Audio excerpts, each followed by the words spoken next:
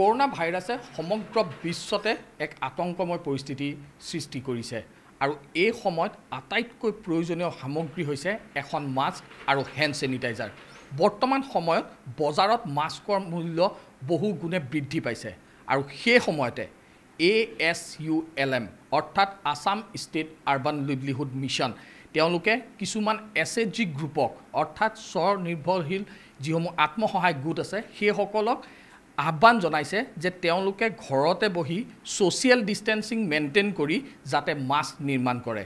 আৰু তেনে এটা গোটৰ সন্মুখত মই বৰ্তমান উপস্থিত হৈছোঁ আৰু মোৰ লগত আছে ইয়াত পাঁচগৰাকী মহিলা।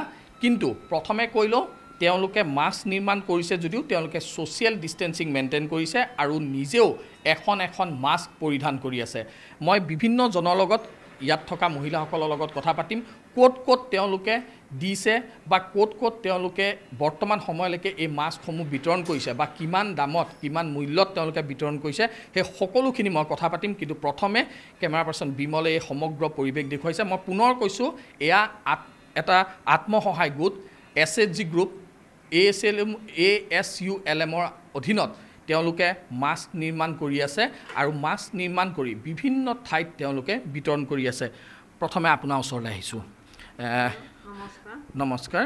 আপোনালোকে এনেধৰণে মাস্ক নিৰ্মাণ কৰিছে।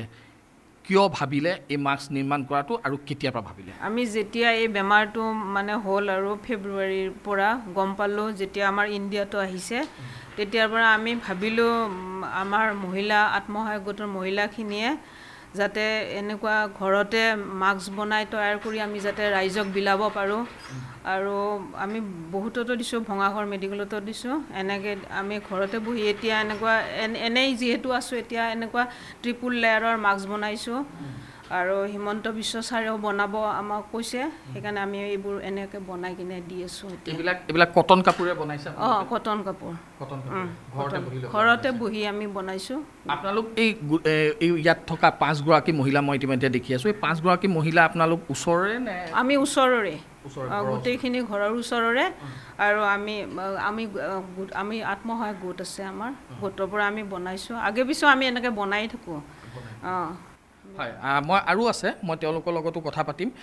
ইতিমধ্যে এগৰাকীয়ে কৈছে যে সকলোখিনি তেওঁলোক ওচৰৰে ওচৰ চুবুৰীয়া একেটা একেটা এলেকাৰে তেওঁলোক আৰু তেওঁলোকে এনেধৰণে ছ'চিয়েল ডিষ্টেঞ্চিং মেইনটেইন কৰি তেওঁলোকে ইয়াত এই মাস্কসমূহ নিৰ্মাণ কৰি আছে। মই দেখুৱাই লৈছোঁ প্ৰথমে এনেধৰণৰ বিভিন্ন মাস্ক তেওঁলোকে নিৰ্মাণ কৰিছে আৰু বিভিন্ন মাস্ক নিৰ্মাণ কৰি যেনেধৰণে তেওঁলোকৰ ওচৰলৈ কণ্টেক্ট আহিছে বা যেনেধৰণে তেওঁলোকৰ ওচৰলৈ বিচাৰি আহিছে যোনে আৰু তেওঁলোকক সেইমতে যোগান ধৰিছে। কিমানমান এতিয়ালৈকে আপোনালোকে যোগান ধৰিছে? আমি কমেও হেৰি ধৰিছোঁ আৰু বহুত ধৰিছোঁ আৰু। এ, আপোনালোকে কিমানকৈ দাম ৰাখিছে? আমি ইয়াতে বিছ ত্ৰিছ চল্লিছ পঞ্চাছ ইমান দামৰ ভিতৰত বিক্ৰী কৰি আছোঁ আৰু। আপোনালোকে যিহেতু আপোনালোকে নিজে ঘৰত বনায় নিজে কাপোৰ কিনি লৈ পেলাই মই ইতিমধ্যে দেখিছোঁ কাপোৰ ইয়াত কাটি থকা হৈছে। আপোনালোকৰ সকলোখিনি পোচায়নে পোচাই আছে আৰু নোপোচালেও বিক্ৰী কৰিবই লাগিব যিহেতু মানুহখিনি সংৰক্ষণ কৰিব লাগিব আমি। হয় সংৰক্ষণ কৰিব লাগিব আৰু ইতিমধ্যে মই দামটো তেওঁলোকে কৈছে যে বিছ ত্ৰিছ চল্লিছ পঞ্চাছ। এই এনেধৰণৰ দামত তেওঁলোকে বিতৰণ কৰি আছে। ক'ত ক'ত বিলাইছে বাইদেউ? সেইখিনি আমি হেৰি ভঙাগড়ত দিছোঁ পঞ্চাছখনমান। তাৰপিছত আৰু হেৰি দিছোঁ এতিয়া আমাৰ ওচৰৰ দিছোঁ কেইখনমান সৰু ল'ৰা ছোৱালী স্কুল আছে যে স্কুলতো দিছোঁ কেইখনমান। সেনেকৈ দিছোঁ কেইখনমান। কিমানমান দিয়া হ'ল এতিয়ালৈকে? মোটামুটি তিনি চাৰিশমান দিছোঁ। তিনি চাৰিশ এতিয়ালৈকে বিলোৱা হৈছে। আপোনালোকে ঘৰতে বহি পেলাই কোনখিনি সময়ত বনায়? কাৰণ মহিলাসকলতো সাধাৰণতে ব্যস্তই থাকে। বিশেষকৈ পাকঘৰৰ যথেষ্টখিনি কাম থাকে। তাৰপিছতো আপোনালোকে এইখিনি কামতো আগবাঢ়ি আহিছে। ঘৰৰ কামখিনি কৰি কৰি ওলাই আহোঁ। গোটেইকেইজনী ওলাই আহি পেলাই এনেকৈ হেৰি কৰি থাকোঁ। গোটেইকেইজনী লগ হৈ পেলাই এনেকৈ কৰোঁ। ঘৰৰ কামখিনি হোৱাৰ পিছত। হয় ঘৰৰ কাম সকলোখিনি কৰি ঘৰত ঘৰৰ কামসমূহ সমাপ্ত কৰি তাৰপিছত তেওঁলোকে এনেধৰণে আহে। মই ইয়াত দেখুৱাই লৈছোঁ এনেধৰণে মাস্ক নিৰ্মাণ কৰি থকা হৈছে। এয়া এনেধৰণে মাস্ক বনাই এই চিলাই লৈ পেলাই এনেধৰণে তেওঁলোকে বিতৰণ কৰে। বিভিন্ন ঠাইত ইতিমধ্যে বিতৰণ কৰি আছে। আপোনালোকে এইখিনি বিতৰণ কৰাৰ সময়ত কেতিয়া মানৰ কেতিয়া কিমান মানৰ পৰা কেতিয়া মানৰ পৰা বিতৰণ কৰে? আমি ফেব্ৰুৱাৰী মাহৰ পৰা ষ্টাৰ্ট কৰিছোঁ। আৰু বহুত অৰ্ডাৰো পাইছোঁ। কালি যোৱাকালিও প্ৰাণজিত কাকতি লৈ গৈছে মোৰ পৰা চল্লিছখনমান মাস্ক তেতিয়া মুখ্যমন্ত্ৰী ছাৰৰ হাতত দেখাইছে আৰু কেনেকুৱা হৈছে। সেই হিচাপত তাৰমানে আৰু আমি অৰ্ডাৰ পাইছোঁ পৌৰ নিগম অফিচৰ পৰা অৰ্ডাৰ পাইছোঁ। দীপালী মেম বাইদেউ আমাক চিলাব দিছে। আমি গতিকে আগতেও চাৰিশমান বিক্ৰী কৰিলোঁ আমাৰ এৰিয়াখিনিত। তাৰপিছত এতিয়া আৰু আমি অফিচিয়েলি অৰ্ডাৰ লৈছোঁ। মানে চৰকাৰী অফিচত চৰকাৰী অফিচত দিয়াৰ কাৰণে আমি অৰ্ডাৰ লৈছোঁ। হয় আৰু আৰু এই সময়ত আপোনালোকে কিয় ভাবি ল'লে যে এনেধৰণে বনোৱাটো কিয়?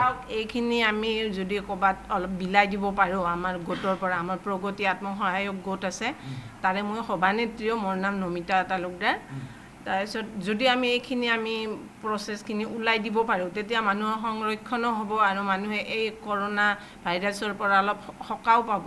সেইকাৰণে আমি এইখিনি কৰাৰ কাৰণে আগবাঢ়িছোঁ। হয়। খুব সুন্দৰ।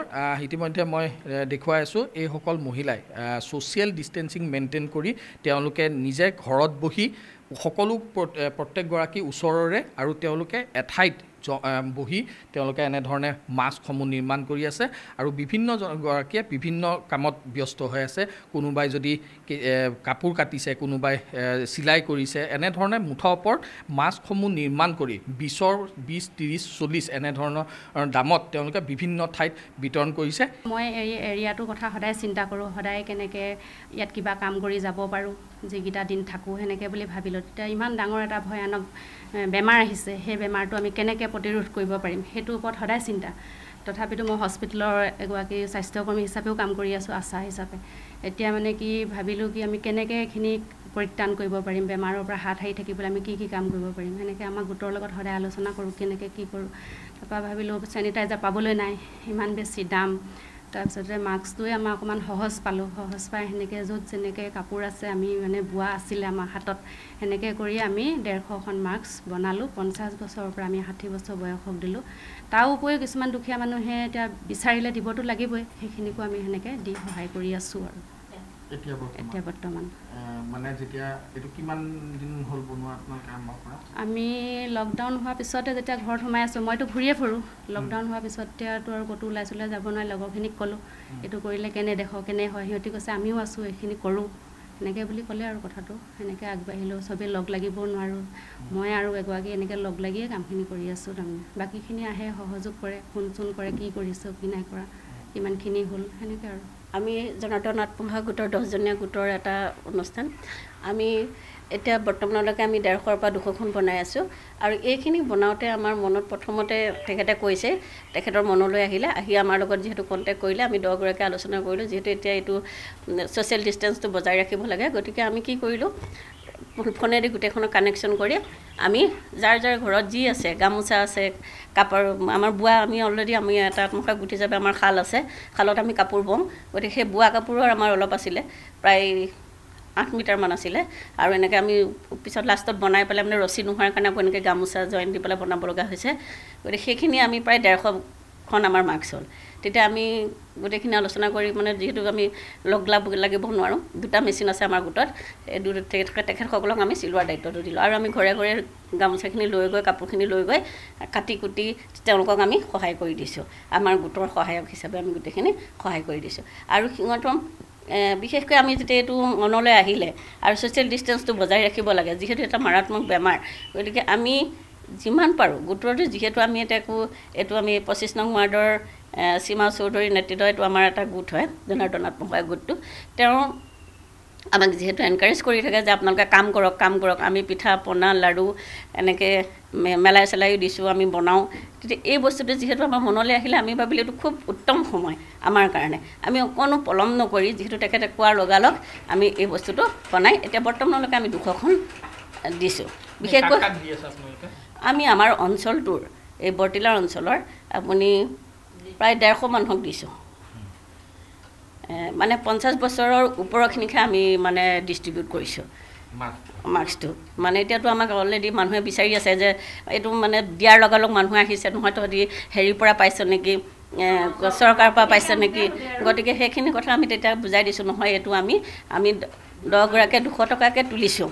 তুলি যিহেতু আমাৰ এই বনোৱা বস্তুটো আমি বিক্ৰী কৰিলেহে পাম এই পইচাটো আমি আমি আকৌ নিজেই নিজকে মানে বস্তুটো এই কাপোৰটো আমি কিনি লৈছোঁ। পাৰ মিটাৰ সত্তৰ টকাকৈ। গতিকে আমি এই কাপোৰটো আকৌ সেই পইচাখিনি আমি যিহেতু কিনি দুশ টকাকৈ এহেজাৰ টকা হ'ল আমাৰ দহজনী সেই পইচাখিনি কাপোৰখিনি কিনি আকৌ এনেকৈ গামোচা বিচাৰি এই গামোচা আমি আকৌ ৰছীৰ অভাৱ হোৱাৰ কাৰণে এই গামোচা কাটি আকৌ ৰছী বনাই তেনেকৈ আমি বনাই ডেৰশখন ডিষ্ট্ৰিবিউট কৰিলোঁ। আমি বৰ্তমান এইখিনি ফ্ৰীকৈ দি আছোঁ। সেইখিনি আমি কোনো পইচা পাতি লোৱা নাই। তেনেকৈ দুখীয়া মানুহখিনিক যেনেকৈ আমি সহায় কৰিব পাৰোঁ তেনেকৈ দি আছোঁ আৰু। মানে আপোনালোকে বিনামূলীয়া বিনামূলীয়াকৈ দি আছোঁ। আচ্ছা আৰু কিমান মান আৰু আপোনালোকে বনাব বুলি ভাবিছে? আমি আৰু দুশমান এনেই এটা হেৰি বাজেট লৈছোঁ বনাবৰ কাৰণে। কাপোৰ কাপোৰ পালে আমি বেছিকৈ বনাব পাৰিম। এতিয়া কাপোৰটো নাই কাৰণে আমি কমকৈ বনাই আছোঁ উম, দোকান চোকান বন্ধ অঁ দোকান বন্ধ এইফালে পাবলৈ নাই। আমি এই শিপিনীবিলাকৰ পৰাই লৈ লৈছোঁ অলপ অলপ কাপোৰ আৰু কিনি। তেনেকৈয়ে বনাই আছোঁ।